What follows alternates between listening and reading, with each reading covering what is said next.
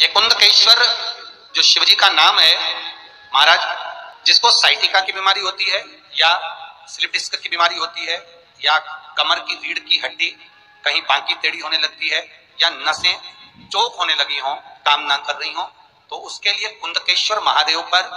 आप कोई भी सफ़ेद कलर के पुष्प भगवान शंकर के मंदिर में कुंदकेश्वर के नाम से 31 फूल समर्पित करना है। इकतीस पुष्प। और कुंदकेश्वर के नाम से इकतीस पुष्प समर्पित कर कर बेलपत्री के पेड़ के नीचे की जड़